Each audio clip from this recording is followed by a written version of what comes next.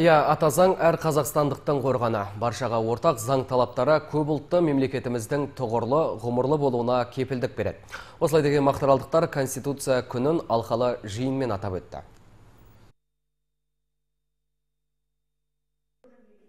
Мемлекеттегі басты құндылық адам өмірі мен оның денсаулығы деп басталатын бас заңымыз әр азаматтың құқықтарын қорғайды. Конституциямыз тұрақтылық, жаңғырту мен өркендеудің іргетасына айналған ұлы құндылық. Бұл біздің барша жарқын істеріміздің қайнар бұлақ бастауына айналды дейді мақтаралдық ардагерлер.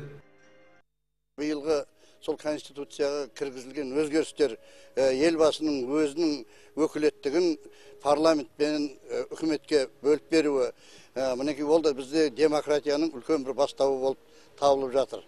Ал оның үстіне мысалға сол конституциямыздың жасампаздығының арқасында біздің еліміздің әлемдегі беделі өркендеп өсіп жатқандығының үлкен белгісі ол әрине қазіргі астанада өтіп жатқан экспо көрмесі болып есептеледі.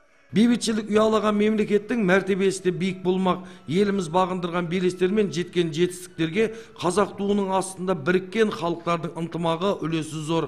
Қазақстанның қиыр оңтүстігінде бірнеше мемлекетпен шекаралас орналасқан 360 мыңнан астам көп ұлтты халқы бар Мақтарал ауданының халқы да игілікті істен қалыс қалмақ емес. ескі қалып бара жатқан ә, әдет ғұрып салт санамызды тастап жаңаша жаңару жаңғыру елбасымыздың тілегіне нұсқауына сай алға баса берейік. Жалпы ауданда 182 елді мекен болса, оның 150-інде қоғамдық келісім ұйымдары бар. Іс-шараға аудандық қоғамдық келісім кеңесі, этномәдени орталықтарының өкілдері мен ардагерлер түгел қатысты. Татулықты ту өтіп, ел бірлігіне үлес қосып жүрген азаматтарға осы күні құрмет көрсетілді. Олар кеуделеріне мерекелік медаль тағып шаттанды. Өз елінде ауадай қажет азамат екенін ұғынды. Мақтарал ауданынан Кенжехан Дүйсенбі, Ақерке Бақтыбаева, Нұржан Сидазов, Мұқан Мұратұлы, оңтүстік ақпарат.